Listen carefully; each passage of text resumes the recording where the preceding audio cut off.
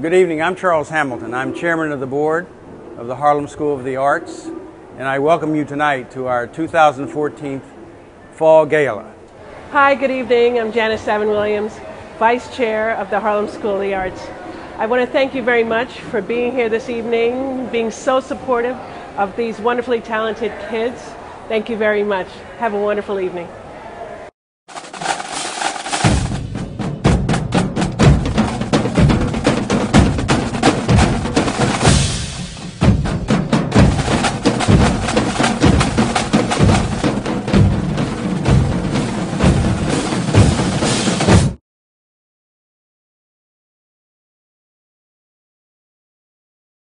This jewel is the Harlem School of the Arts, which has served the community for nearly 50 years. Today, it's celebrating a rebirth, thanks to a major grant from music legend Herb Alpert. I am so blessed. And I just feel compelled to pass it on. I know this sounds a little corny, but I, I get it. I dig it. But uh, I didn't say anything. She's told me that she's She never heard.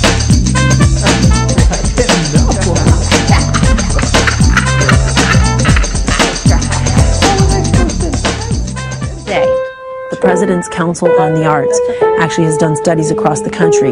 They've proven that kids that have sustained quality arts programs, any discipline, doesn't matter, are four times more likely to succeed academically. That's like proven stats. Done. Art is a state of mind, it's a state of culture. And in many communities, they have theaters and galleries yeah. where people like to show off their art.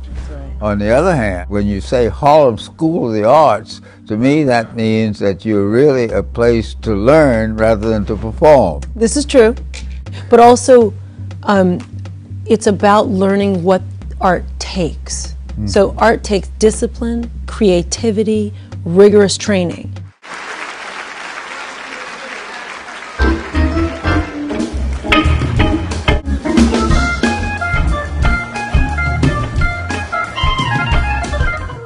So you all focus on dancing, but you, little one, was what we call a triple threat. Tell me everything that you do. Uh, I sing, I play the piano, and I dance. What has it been like for you being next to other performers, your peers that are phenomenal, and having other teachers come in as well?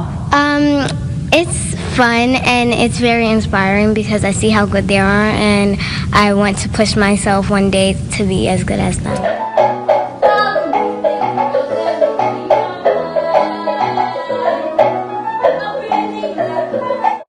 It's just a wealth of, you know, artistic energy here, and I just thought what I would like to do is have other people think about supporting the arts. And if I can do that with my name, then it would, it's, it would be uh, important for me.